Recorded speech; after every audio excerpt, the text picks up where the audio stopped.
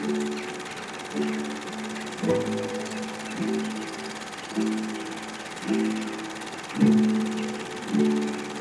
you.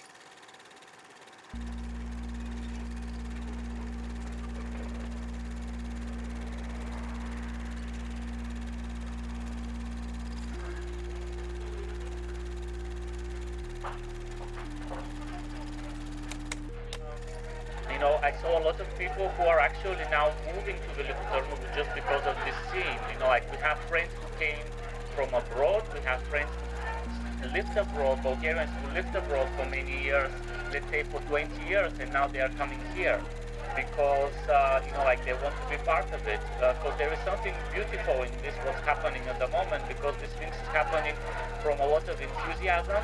Uh, it's still not recognized by the institutions, so it has this floating and like uh, wild spirit. Uh, uh, and you have people like Lars who make uh, contemporary art. You have people like Eric who produce wine. Something that it's being created by uh, all those foreign people who are coming to Veliko Tarnovo and have been coming to Veliko Tarnovo. Okay, let's stop here. It took me quite a long time to get to know people in Velik Tarnovo. Um, and once you establish friendships and you establish a network, it starts to get easier to see also, also the possibilities of what you can achieve. What I do and all the artists I bring and even their exhibitions, the content of stuff, and I, I, I actually see some form of good development. I'm quite optimistic actually. People who come over in these days, they are entrepreneurs. They come over and they, they, they are young people, so they, they cannot live on a pension and they see the opportunity to creating something. And also, when you don't have, uh, you know, like a proper gallery, or when you don't have a proper art residency, or when you don't have a proper coffee, or a, uh, you know, like a, a brewery or something like this, or like Eric makes wine. So hmm, I can create something that you know, like the environment needs needs it, and they also come with the knowledge because uh, this is very important. You know, like the knowledge is a resource that you can. Um, uh, convert it into money when you have the right circumstances, and I think the circumstances are here. And uh, we have made some rough uh, estimation, and uh, only last year, um, over 100 in 150,000 euro came into this town thanks to the activities of the cultural scene you're seeing here.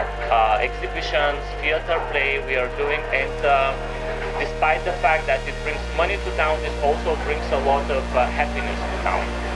And then you realize that, you know, like Veliko, Veliko Tarnovo is always branded as the most Bulgarian town, you know, like uh, the, you like the heart of the Bulgarian spirit and culture. But when we talk about this heart, when we talk about this culture, uh, we have to take a real, really big note that it's always been developed and it's been enriched by the foreign people who've been coming here for many centuries.